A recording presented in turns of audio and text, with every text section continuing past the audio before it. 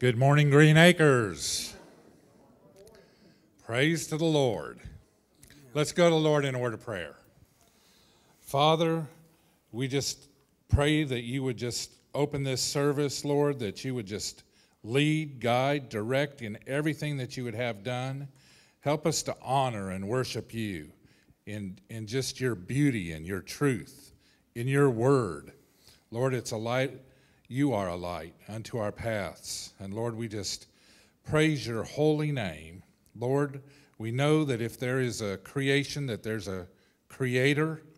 And Lord, you're in control of all things. And Lord, we just pray that as other churches in the Warner Robins area are worshiping, Lord, that you just be with each and every church. Lord, help us to worship you. And Lord, we just pray for Pastor Tim as he brings the message this morning, for Pastor Micah as he leads. As we sing your praises and honor and worship you, let us do it in spirit and in truth. We just ask this in Jesus' name. Amen. Amen. Amen. Green Acres, let's come together, rise up as we worship, and let's sing glory to his name.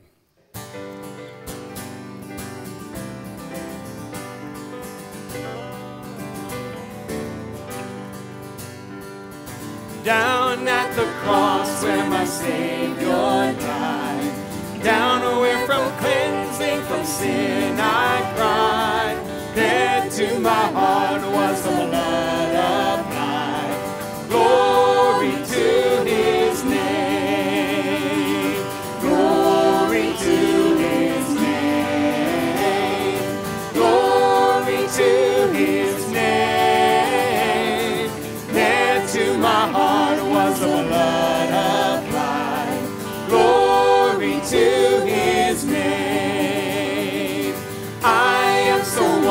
wondrously saved from sin.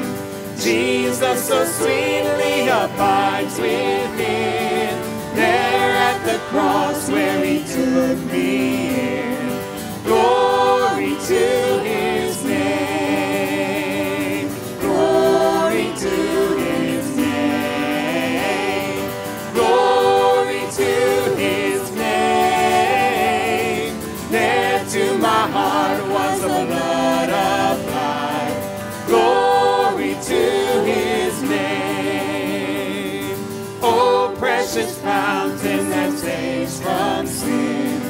I am so glad that I entered in. There Jesus saves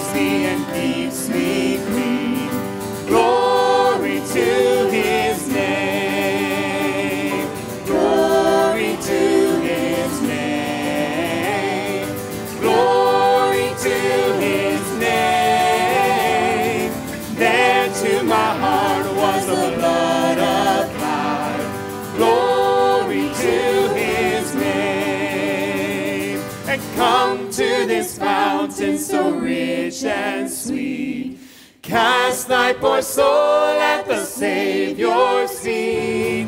Plunge in today and be made complete.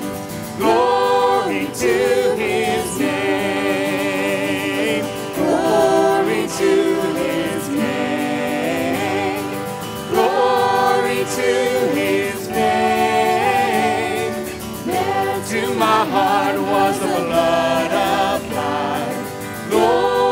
to his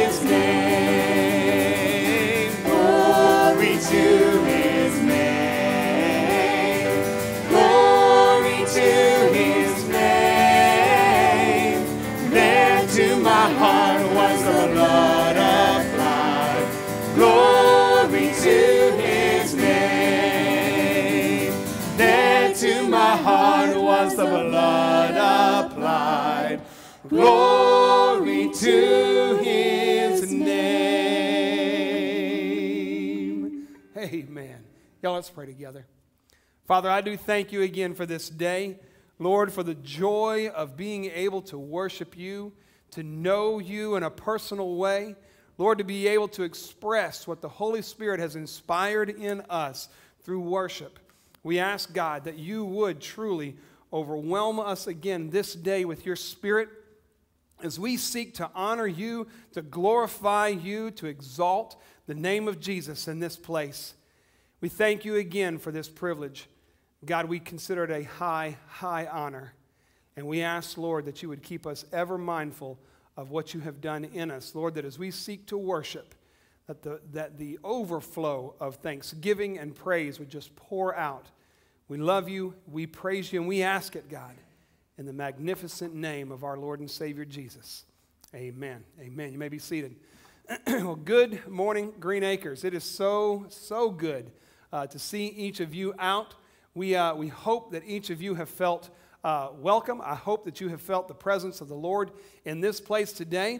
If you are a guest with us today, we consider it a genuine privilege of ours to have you here, an honor of ours. I hope that you have already felt welcome in this place. Um, we ask you to do a favor for us as we seek to minister to you and to be a blessing to you. We ask that you do something for us. In each one of the bulletins, there is a, a card uh, along a perforated edge. If you would tear that, tear that card off and fill that information out for us, you can do one of two things with that at the end of the worship service. You can either lay it in the offering plate as you pass, as you walk out, or you can hand it to one of our ushers at the end of the service in exchange for a gift. Uh, it's a DVD or a CD of a recent worship service we've had here at Green Acres. Uh, hope that you will take that, that you'll use it, that you'll be blessed by it. We know you'll be blessed by it. The gospel will be presented very clearly in it, and we hope that you will take that and then pass it on to one of your neighbors, maybe a family member or something like that, uh, for, for them to hear. Maybe a neighbor you've been trying to reach with the gospel of Jesus Christ for years. Green Acres, have I told you lately that I love you? You are very, very dear to me. You are very dear to our pastoral staff.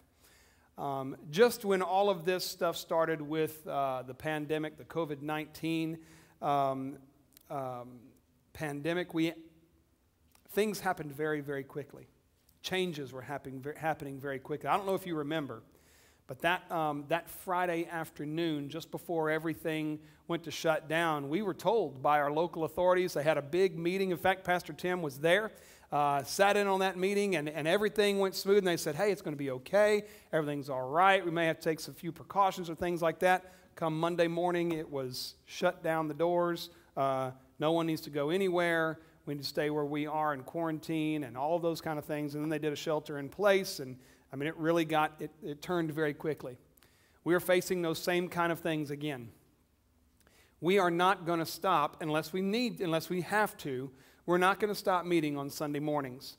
Uh, many of y'all received an email and a letter this last week uh, letting you know that we were going to resume evening worship services uh, Sunday evening and Wednesday evening. Uh, I don't know if you are aware, but between 3 o'clock on Friday afternoon and 3 o'clock on Saturday, there were overall just shy of 4,400 new cases of, of COVID 19 in our state. Um, our heart our longing is to be together. That is our desire. That's what we want to do. We also have to do what's wise and what's best. And though we had rescheduled uh, those, in fact, even in the weekly schedule in the bulletin, you'll notice that it says we're going to be meeting uh, Sunday nights and Wednesday nights. Um, we made the decision just this morning. Uh, the pastors were very unified in the decision uh, to uh, postpone that decision until a date where we feel that it's, it's uh, wiser and safer. We'll continue to meet Sunday mornings, 9 o'clock and 11 o'clock, have the two worship services. Um, but we will not be meeting tonight here. We'll have it on YouTube. Pastor Tim is going to record this afternoon. As soon as he leaves here, he'll go get a bite to eat, and then he's going to go record this evening worship service, uh, the Bible study, and that'll be online, should be, prayerfully, will be online this evening uh, in time at the 6 o'clock hour. Uh, but if not, catch up with that. It'll be online soon enough. So um, be looking for that and on Wednesdays. Until the time that we're able to get back together um, on a consistent basis, the more times we meet, and it's just statistics, it's just obvious math. The more times we meet, the more likely we're going to be, we're going to be spreading. And, uh, and so we take all the precautions. Um, thank you for reading the email. I know that you read the email as well that went out uh, that discussed um, the excitement of last week. And wasn't it exciting? Wasn't it exciting? Well over 200 people uh, between the two worship services and, uh, and then a new pastor. I mean, how more exciting could that get? And I'll tell you, we all let our guards down, or many of us, many of us let our guards down um, and should not have, and, uh, and hope that we will all become far more sensitive to what, um, what, is, what is necessary for, uh, for everyone that's around us. Everyone that's around us. Um, you may not get sick, but others may, and that's it's important that we take those precautions. Um, that being said, uh, you'll hear more about that through the, through the rest of the service. Um, just, just know your pastors are very, very one minded on this. And, uh, but want to get into a time where we talk about the prayer requests. Um, each week, again, like I say, we're going re- we're going to um, speak those during this pandemic while there's still some separation, while there's still no small groups and things like that. We want to be able to let people know how to pray uh, for each other. And so um, one in particular that came in Thursday afternoon, and uh, we did not get an email out about that, so I want to announce that to you uh, very specifically. Be praying for Pastor Ed's wife and her family, uh, Betty Strawmeyer, her aunt. Um, this last week, um, very tragically and very instantly, uh, died in a head on collision. Um, someone crossed over the center lane, and there was nothing that could be done. And um, her, her name was Rachel. Uh, her husband, I'm sorry? Okay, and her husband, uh, Billy. So be praying for, for Billy uh, as he mourns the passing of his wife um, and for that whole family. Uh, be praying for them, uh, specifically picking up, lifting up Betty uh, and, and, of course, Linda. Don't forget to be praying for our new pastor, Sean. Uh, Dr. Sean Watson and Laura, uh, their two boys. They are uh, very soon going to be moving to Georgia, very, very soon. Um, uh, in fact, they'll be here a good many weeks before, a few weeks before they actually start here. Um, she has to come as while he's finishing up in, in Missouri. She has to come here because she's a teacher in, the, in our local uh, public school system, and, and so she has to be here very soon. So, uh, in all of this transition time, be praying for them.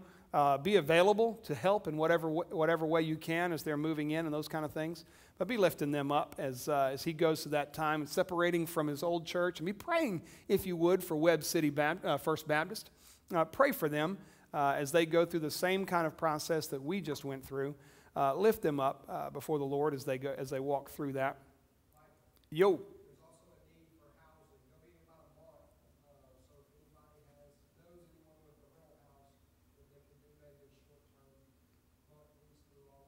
Thank you. Yeah, need a very short term, uh, month, maybe, maybe as much as um, two months, but um, certainly no later than my understanding is August the 30th when they'll be able to move into their new home. Um, so be praying for them and, and, that they'll be able to secure a place to, uh, to rent. If you know someone or, uh, or you have a place that can be rented, um, let, let, um, let one of the staff members know, um, or you could call Beth. She uh, has been in very close contact with them. So. Also, be remembering Justin Kicklighter. Of course, he contracted uh, the COVID 19 virus uh, and is dealing with that. He's recovering and uh, recovering well, but y'all be praying for them and the family as they're, of course, having to be completely quarantined through this time. So be praying for them. Uh, don't forget the Tuckers, uh, Ryan and Kaylee, um, their new baby Evelyn. Uh, be praying for them. You know, it was brought to my attention during the break in between the 9 and 11 o'clock service, and they're not here this morning uh, but they have been here each morning. Uh, we had a new baby that was born during the pandemic. Um, we had a pandemic baby. Um, uh, little Harrison um, Wood is, uh, was with us the last two, the first two Sundays that we had regathered, three Sundays that we had regathered. And uh, it, was a, it was a joy to see Caroline and Daniel Wood with their new baby. Uh, make sure that you next time they're, they're on vacation this week so as you see them next week uh, make sure that you, uh, that you speak with them and, and, uh, and celebrate with them that new, that new baby. Um, Melanie Hyde, of course, is expecting. She and Josh uh, looking forward to, to that new baby that's coming. They're about three and a half months in. It's a very exciting time. Um, also, please be remembering um, Francis Jordan. uh, as she is still continuing to have some breathing, some breathing issues. It's making her very weak. She had a couple of tests um, this past Monday and, uh, and expecting the results from those tests uh, soon. Uh, hopefully sooner rather than later. Amen. I mean, uh, we all know what it means to wait on test results. So be praying for her. Also, like to ask you to lift, um, lift a lady named Nancy Payne. Uh, she's a very dear friend of Green Acres, though she's not uh, a member here. Um, she and her husband David both have major health concerns, but Nancy is dealing with cancer right now and, uh, and all the treatments for that. She goes on a lot of our trips. Uh, she and uh, David go on a lot of trips with the Pearls uh, whenever we go on trips all over the, all over the United States. So be praying for them, lifting them up. They've asked us to pray for them, and we need to be careful to do that. So um, be remembering them. Also, uh, Erlene, uh, she's, she has uh, texted me actually yesterday, very excited about a date uh, that, that it, the uh, surgery has been scheduled for her pacemaker to be put back in, and prayerfully, very soon after that, she'll be able to be back here with us. y'all be praying for her as she, as she continues to stay at home, sheltered in place as much as possible. of course, be lifting Dale uh, as he recovers from his surgery and is facing the, uh, the radiation treatments that are coming up very soon. Next week they start? Yes, that's right. And uh, Dale's with us, of course, here this morning. Be praising God for Dale and his life. Uh, Rex is still uh, recovering from his rotator cuff surgery. Be, be remembering Rex Bond. Um, I'm looking through just a couple of others. There are so many names on this list, y'all. There are, there are well over 40 names. There's no way I could list them all. Uh, but be praying for each of, each of these people. Uh, also be mindful that the men, every Tuesday morning at 6.30, we gather online uh, in a Zoom meeting and we pray together uh, for all of these. One last thing I want to mention before, before uh, we get back to uh, the music. Um, be praying for your deacons. We have, of course, the deacon nominations. Uh, there are men that are being considered all over the congregation. Um, we would like to get as many as seven, if possible, seven men to, uh, to join the, the deacon body uh, to serve. And uh, that would give us a number we'd be able to function, function uh, very, very smooth. So uh, if you've been asked and you're able, you're willing, be, pray, be in much prayer about that, men, and, and um, see if we can see if we can um, serve our widows uh, very well in this place and serve the rest of the fellowship as well.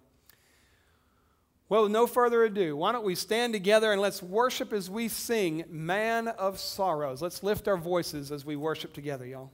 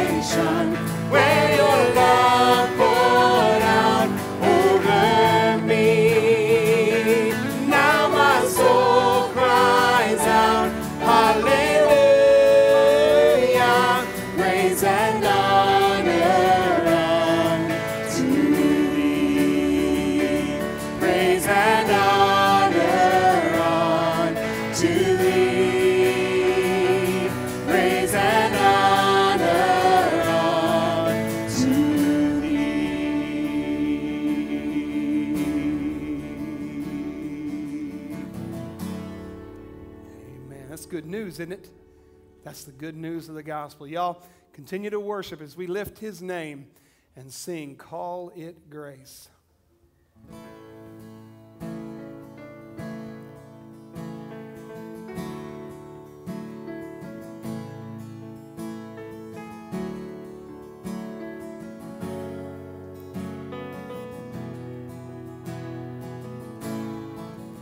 It's the light that pierces through.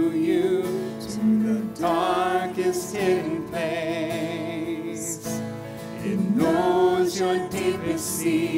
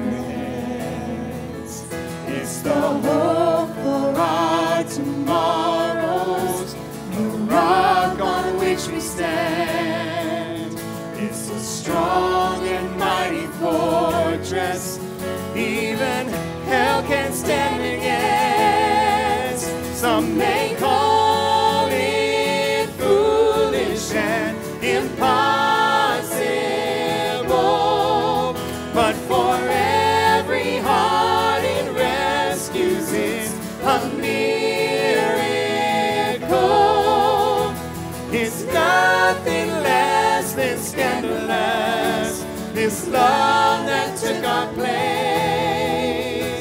Just call it what it is.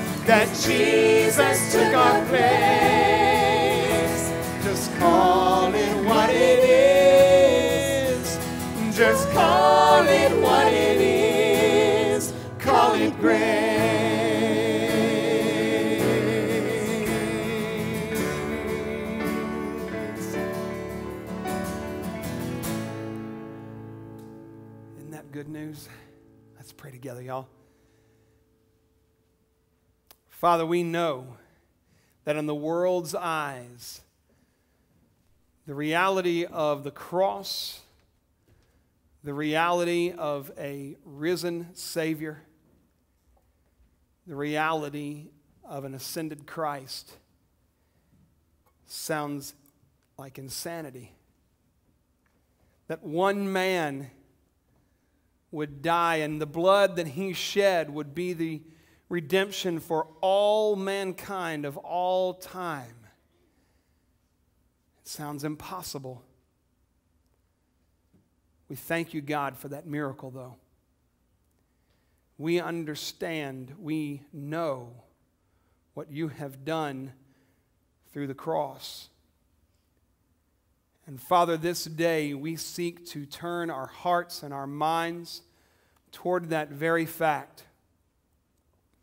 Lord, as we seek to honor you this day, and as we dig into your word in just a few moments, Father, we pray that you would use that word, Lord, to touch our hearts, to transform our minds.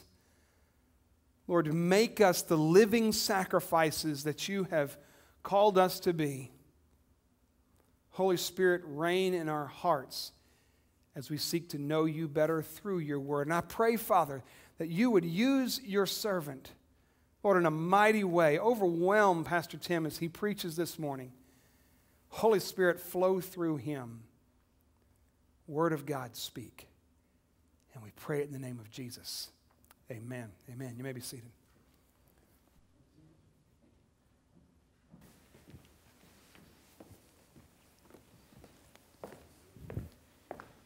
Well, good morning. It's good to be with you. It's good to see you. I know you had some uh, exciting things take place here last Sunday. I prayed for all of you, not just on Sunday, but the entire week leading up to that. And I'm delighted that you have a new pastor who's coming. I'm excited for you and I'm excited for him. I teased the first uh, group this morning that uh, I said I've watched our viewership on YouTube where I'm concerned wane a little bit, so I know you're tired of me. I get that. You've been incredibly gracious, so thank you for, for the privilege of serving you. I've also received a very uh, sweet gift at our home this week. Uh, I didn't know anything about that, but you have been very gracious to me and my family. Thank you from the bottom of our heart. I've enjoyed serving you, and I'm excited about Sean's coming and all the things that God has ahead for you. Uh, the way this is working out, I think, we're right now on uh, what has always been Sunday evening, Wednesday evening. Um, we've been in the book of Hebrews. If you haven't caught any of those studies, I hope you'll go listen to them. They uh, are really informative. Hebrews gives us some real insight into the Old Testament and how Christ's death and burial and resurrection and all that he has done in establishing the new covenant, the New Testament, fulfills the Old Covenant and does away with it. it. It completes it and does away with it. So we come by grace. That's what we've been singing about.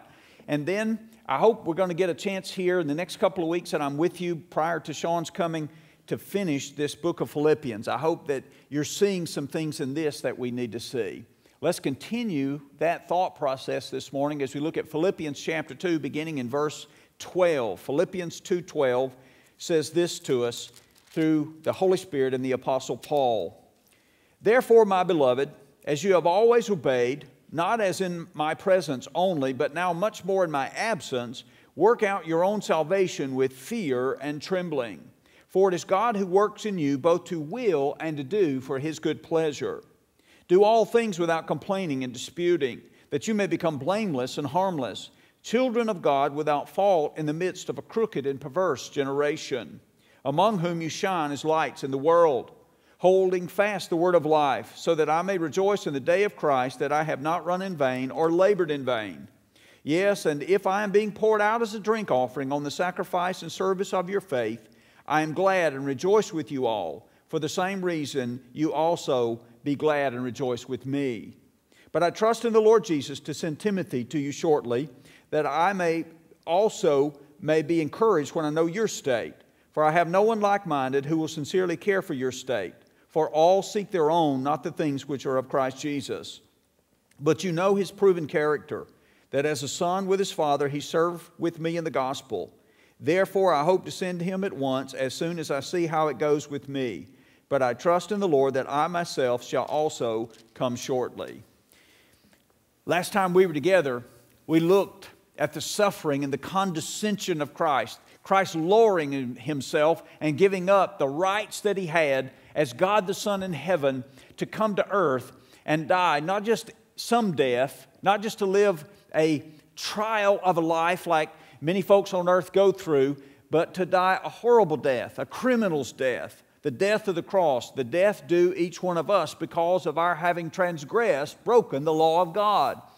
And as we looked last time at the ultimate example of humility, Paul's pen finds its way to what we would call in this section application. Brother Tim, what's application? That's where we take the truth that we've just grasped about the Lord Jesus and begin to apply it to our lives. And it is because of that that this message is entitled Considering Christ, How Shall We Live? Looking at Christ's example, looking at his suffering, looking at his humility, how is it that you and I are to live in light of who Jesus is and what he's done for us? That's a worthwhile subject, topic to talk about, wouldn't you agree? It's really what should drive us each day as to get out of bed and rejoice in the Lord and live for him. And we re- really want to break it down to something fairly simple. I find if we keep things simple, that we tend to remember them far more. Isn't that right? So four words we're going to talk about this morning work, shine, receive, and follow. Pretty simple. Would you agree? Let's talk about what Paul talks about here. First thing, work out your own salvation. Isn't that what Paul says? Work out your own salvation. Look back with me at verse 12. He says, Therefore, my beloved, he, he calls them his beloved. He loved them deeply. As you have always obeyed, not in my presence only, but now much more in my absence. He says, Listen, you followed me and did what I said while I was with you, but I expect even more now that I'm not with you. For you to carry on, for you to be committed to these things. And then what, listen to what he says work out your own salvation with fear and trembling.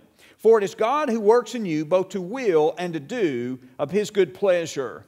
Now, Paul takes seriously what it means to live a life for Christ. Wouldn't you agree? He gave his life for it.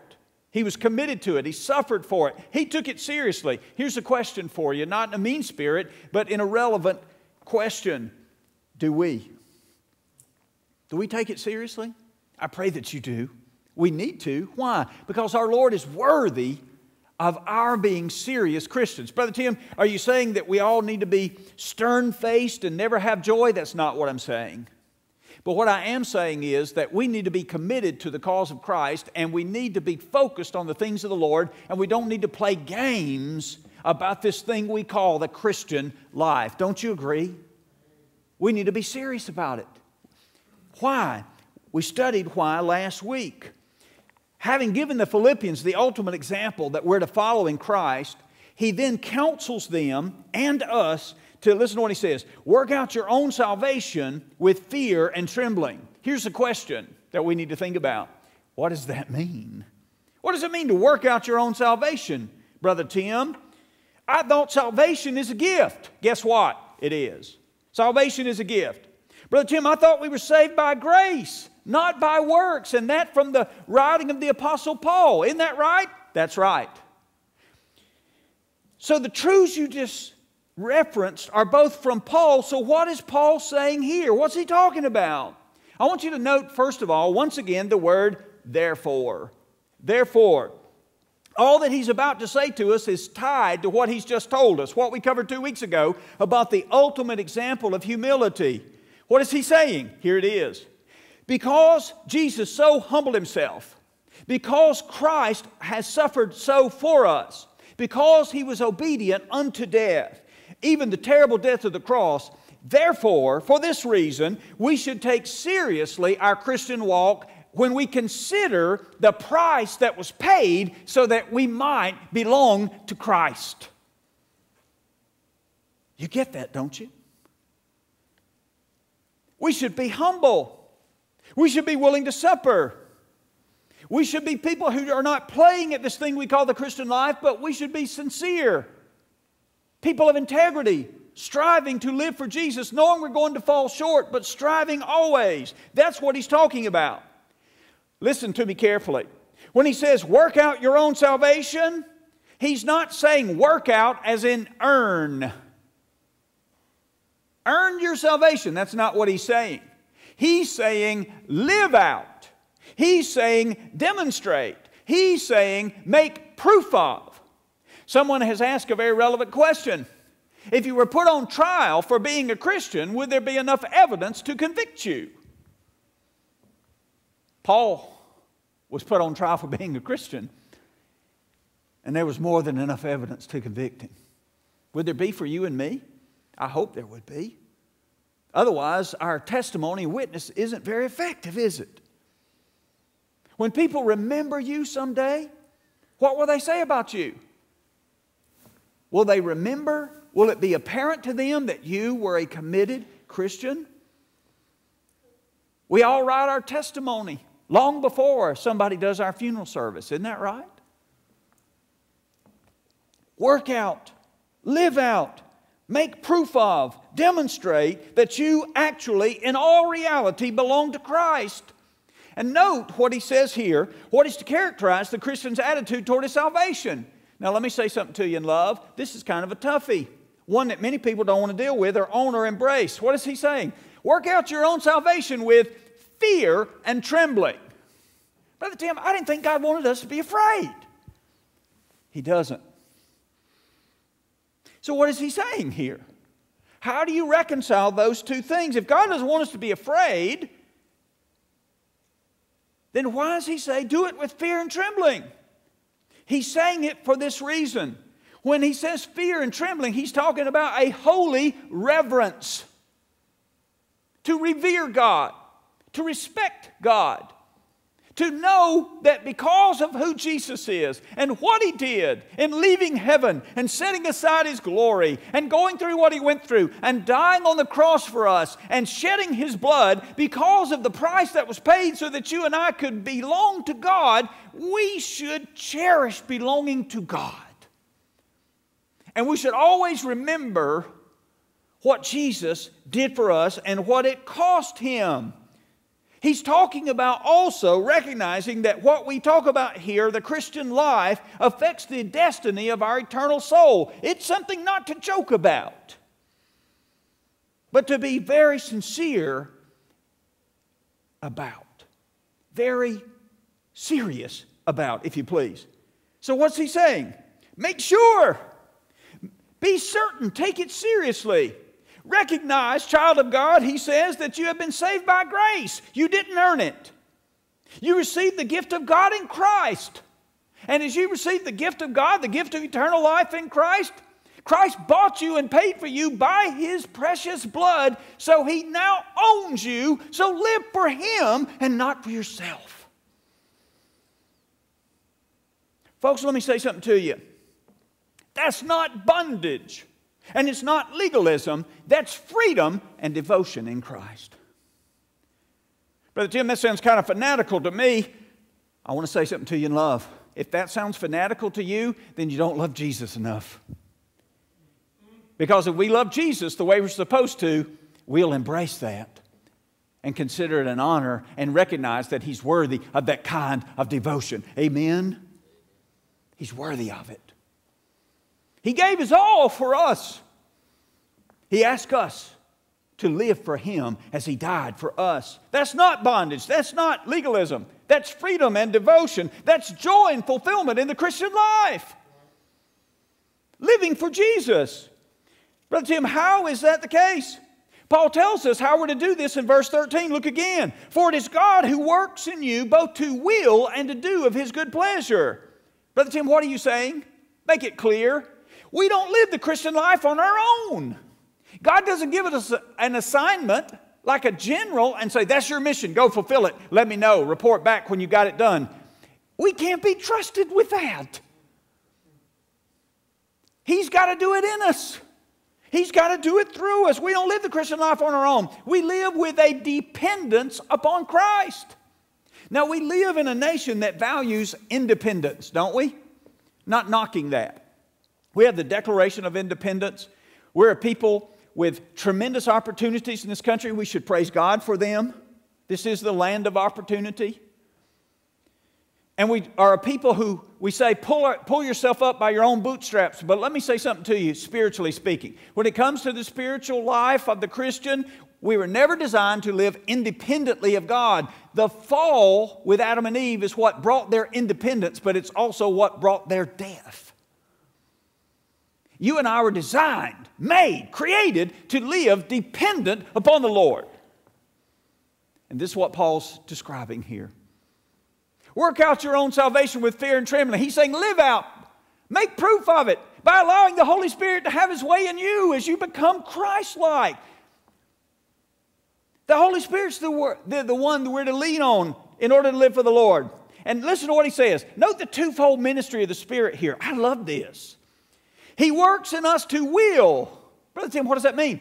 He's the one who gives us the desire to live in purity.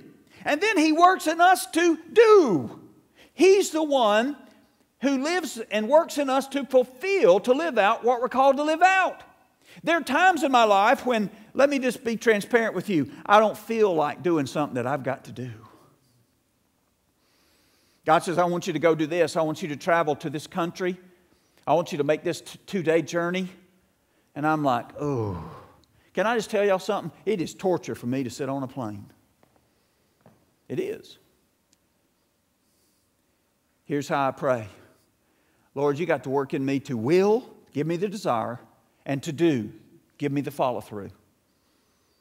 I'll do it.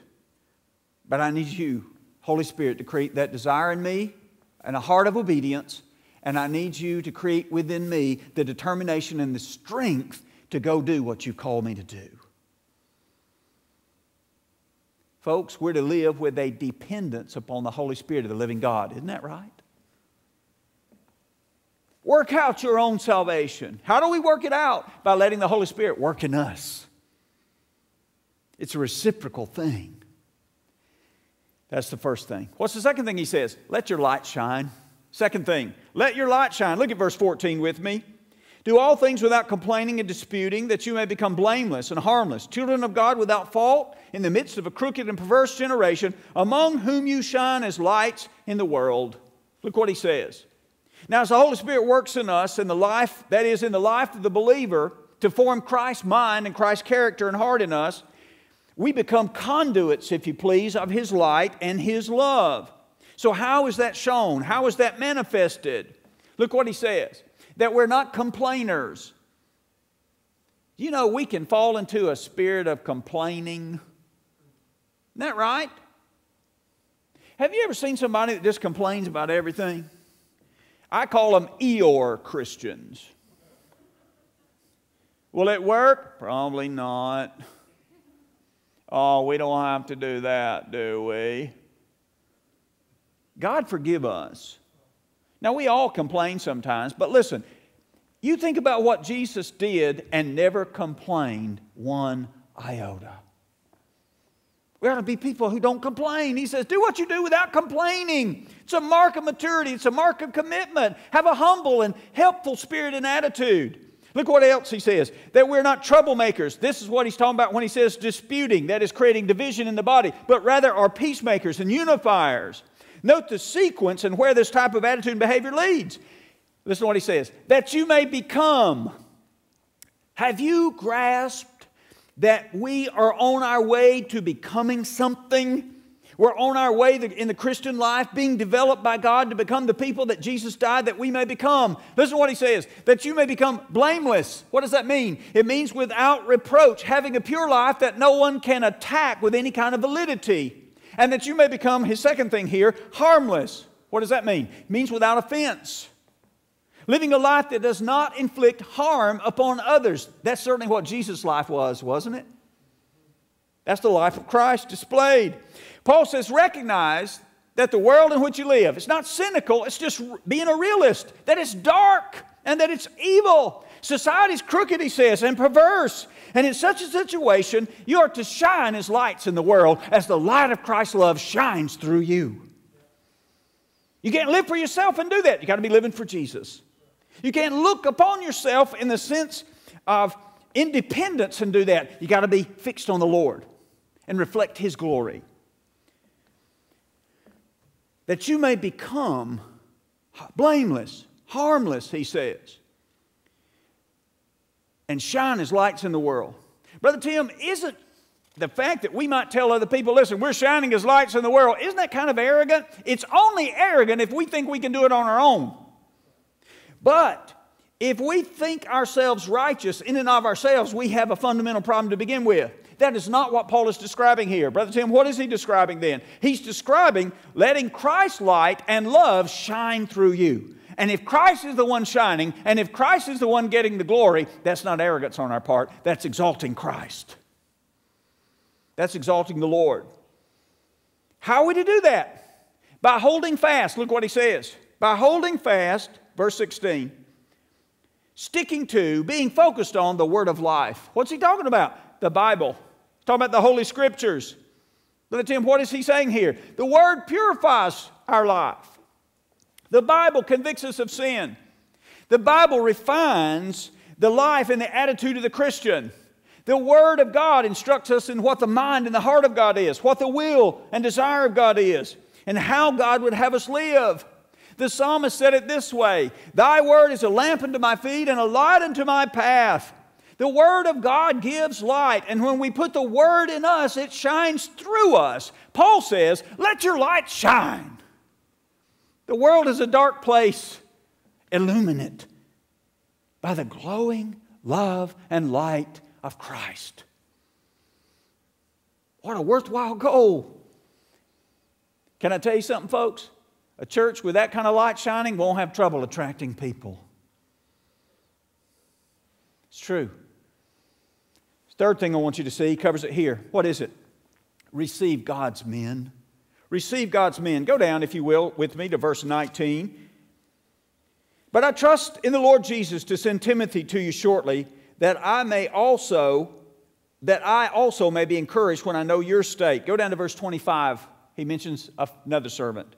Yet I considered it necessary to send to you Epaphroditus, my brother, fellow worker, and fellow soldier, but your messenger and the one who ministered to my need. Now, folks, I don't think it's coincidence that the very week we get to this part of Philippians is the week after you called a new pastor who's coming. to you? What is Paul saying here? Simply put, he says, receive God's man. Receive these men of God. He mentions here two men who were close to him Timothy and Epaphroditus. Verse 19, I hope to send Timothy to you. Verse 25, I have sent Epaphroditus to you. So, Brother Tim, so, so let's apply this. God sends his man to us, his men to us. God sends his men to the people of God. So, how is it we're to respond? We're to receive them. We're to receive them. Well, how do we receive God's man? With open arms. How do we receive God's man? With prayerful attitudes. How do we receive God's man? With receptive minds.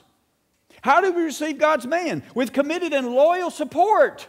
Verse 29, go down and look at what he says here about having sent Epaphroditus. Verse 29 Receive him therefore in the Lord with all gladness and hold such men in esteem. Church, receive God's man and hold him in esteem. To esteem a man means to value him greatly, to value him to treat him respectfully. He says, receive God's men. You know, I think about what the Apostle John tells us of the incarnate Word in John 1. He says that the Lord Jesus came into his own, but his own, listen to these sad words, received him not. They rejected him. That is, the Jews of Jesus' day did not even open their arms, much less their hearts or their minds to him. He, Christ Jesus, was the one sent by God, but they refused to receive him. Folks, what a tragedy it is when God, in his graciousness, in his provision, in response to the prayers of people, sends the man of God to the people of God, and yet they won't receive him. Don't let that be said of you. Receive God's men. So, fourth thing I want you to see. What is it? Paul covers it here. We're going to summarize some of it. I'm going to give it to you in three words, very simply.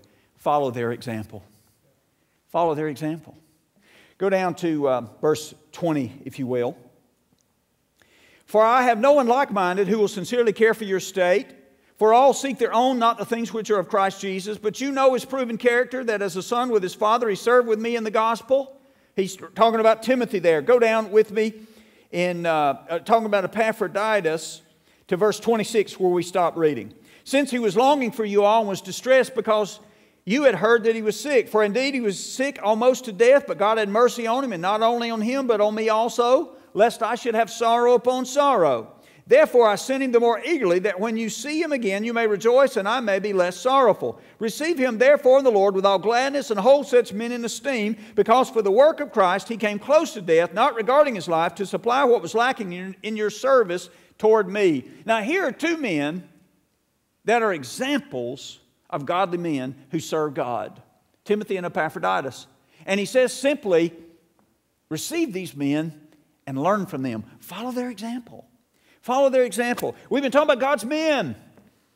Listen to what he says here about Timothy, and then what he says about Epaphroditus. I have no one like minded, he says of Timothy.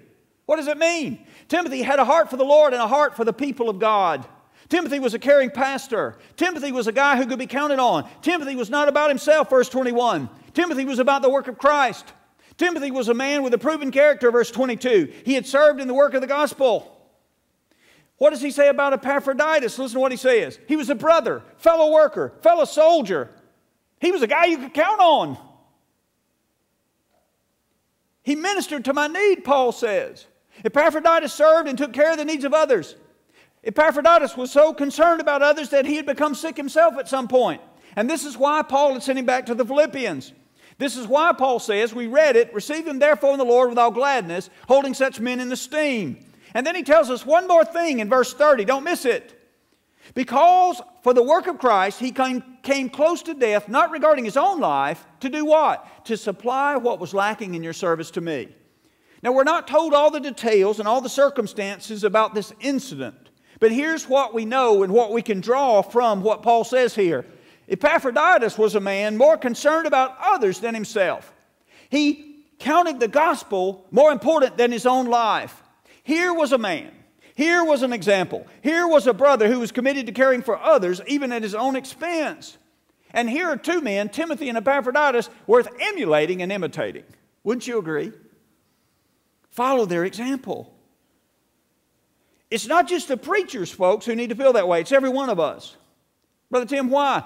Because it's that kind of service and attitude and commitment that make a great church that God can use so that Christ may be magnified and people's lives might be changed. Paul says, follow their example. Brother Tim, what are you saying? When God sends you a man who has a mind like Paul, follow him. When the Lord supplies you a pastor who's a caring pastor and concerned for you, receive him. When Christ brings into your midst one who loves the Word and who exalts Christ and not himself, rejoice in him. When you have a pastor who's willing to suffer need in order to care for the needs of the congregation, esteem him greatly. When you have a leader more concerned about the gospel than his own life, pray for him, support him, follow him. Follow him. Follow his example. Let me wrap this up. Work, shine, receive, follow. It's not complicated, is it? It's not complicated. Work out, that is, live out. Make proof of your own salvation in reverence and serious commitment. Know that the world is a dark place and it needs light. Shine as lights in the darkness as you allow God to work in you and shine through you. Receive the men of God, follow them faithfully. You see, folks, being an effective Christian in the world is not easy, but once again, let me say it, it's not complicated. It's pretty simple. Brother Jim, what are you saying? Let's commit or recommit ourselves to that task today the task of living for Christ and following Him. People need the love of the Lord. People need to hear the gospel. People need a light shining in their darkness. Christ has us here to do just that. And He supplies what we need that we might be used of God as instruments in His hand. Let's pray together. Father, we exalt you here. How worthy of praise is Christ, who gave up the glories and splendors and safety of heaven and came and died a criminal's death in our place. Father, may we live for him, not for ourselves. I pray for this church in the days ahead. I pray for Pastor Sean and his precious family.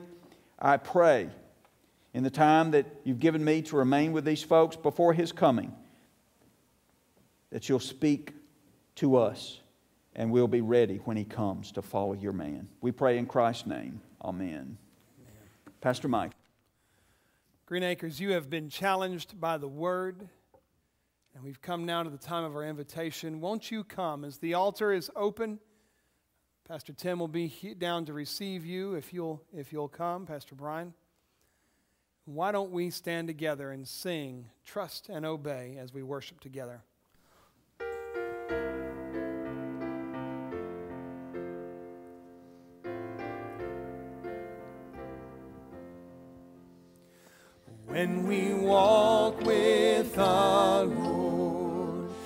The light of His word, what a glory He sheds on our way. While we do His good will, He abides with us still and with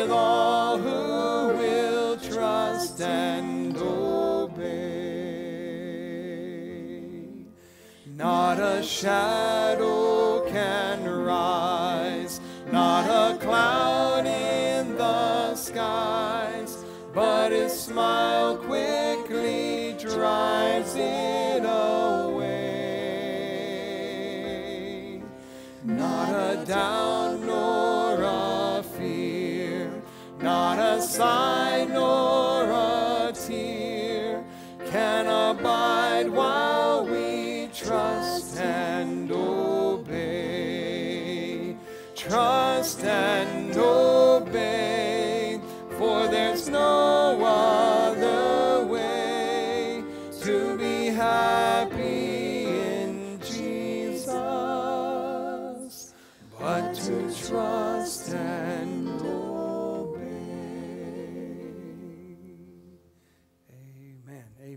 Seated.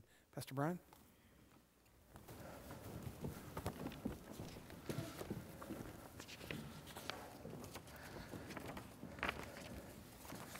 mentioned this in the previous service, but wanted to mention again just our appreciation for, for Brother Tim and the heart that he has, uh, the heart that he has for ministry, um, just the way that he diligently does everything that he does with the association. He really is a pastor to pastors, and he's just been a blessing uh, to us in leadership. And we thank you. We thank you for your faithfulness to the Lord, uh, to the calling that he's given you uh, your love for the gospel, uh, for preaching and for teaching, and to do it with a heart of sincerity, and most of all, uh, your love for us during this time. And uh, there, there's so much more that we could say, but we praise God for you being a shining light uh, for us here at Green Acres. And so, um,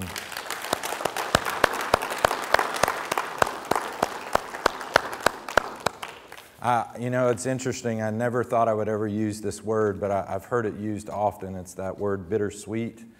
You know, as we look forward to, um, to having a new pastor, it's that bittersweet moment of, of just being so thankful for who's been with us in an interim time, and then at the same time, just looking forward to Sean and his family being a part um, of this fellowship. So, um, as, we, as we look to depart here in just a few moments, uh, there's a couple of things I wanted to mention for our youth um, and for our families, especially those who have had graduates uh, this season. We know that this has been a disruption. There's been so much that has um, gotten in the way of some of the celebration and some of that, but I, am very glad that you guys were able to have some graduations and um, actually get to walk across the stage and that sort of thing. And so uh, we are going to um, have a very, very special service that we typically do, and it's just a recognition. It's not to take the entire service, but we would like to recognize our graduates who have graduated from high school. Um, and you'll see in your bulletin that will take place on August 2nd. Um, and so there's some information if you are a graduate, if you're watching online and, and you're not here today. Um, please know that we're looking for information about what school um, your graduate has graduated from and um, any honors that they have received as a result of the last few years. Also, um, interested in knowing their, their plans, their plans after graduation. If they're going to go straight to college, some go straight into work. Um, either, either option um, certainly is, is part of people's lives as they do that. So we're just interested in learning more about um, what they plan to do post graduation. Um, if they are pursuing a career interest, we'd like to know that. And one other thing that we're asking parents to do, and this is based on feedback that we have received over the years, and that is to have some input from parents, not only about career plans, but also one piece of advice that you would like to give to your graduate as they're here receiving their recognition uh, that Sunday. So please send that information in to Miss Abby in the office and there's some other information about Sunday school. Um, if you, uh, with all that is happening, by the way, I know Pastor Mike had mentioned this and Brother Tim alluded to it as well. Um, it is not part of who we are to, to try to suggest not being together. So, this is a very, very uh, hard decision for us to say that we're going to have to backtrack on the plan for Sunday night and Wednesday night just for a time. And we'll, um, we'll keep you updated as to um, the plans as we resume those services. But for, for, for now, and that does include, of course, um, things related to the youth in Awana.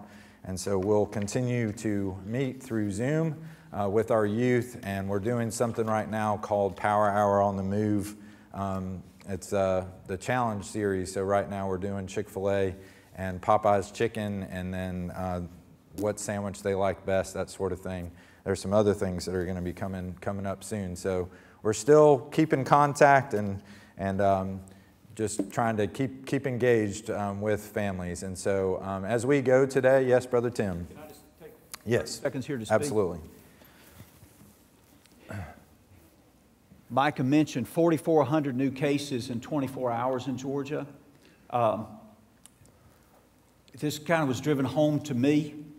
Uh, Austin's here with me this morning. He's been serving at the VA hospital. They had a coworker test positive. Austin had to quarantine himself until he got a test. He's all clear, and we're thankful for that.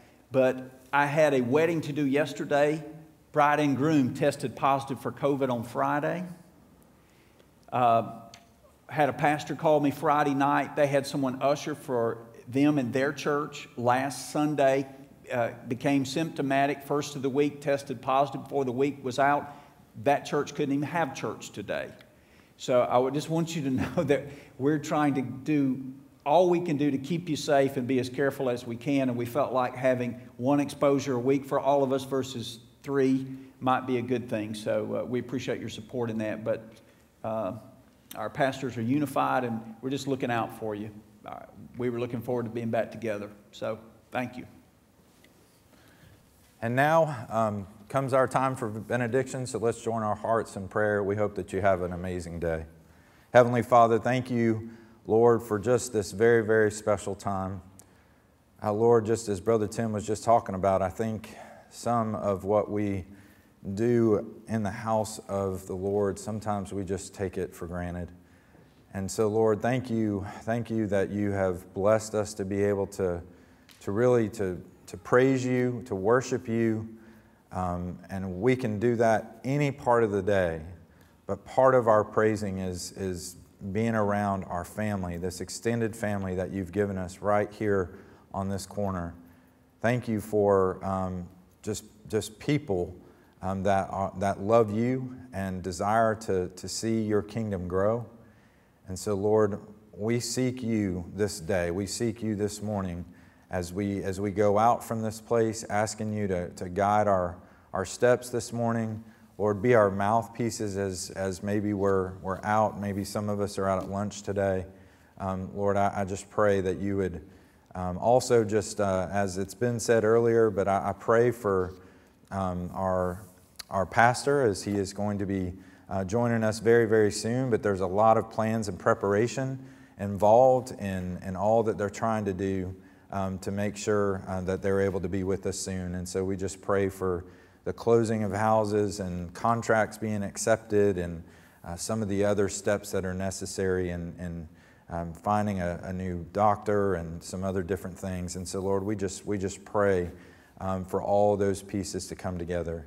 Uh, Lord, um, send us out uh, this day. Send us out in your love and send us out um, with the, the words of the gospel on our lips. Lord, we pray these things in Jesus' name. Amen.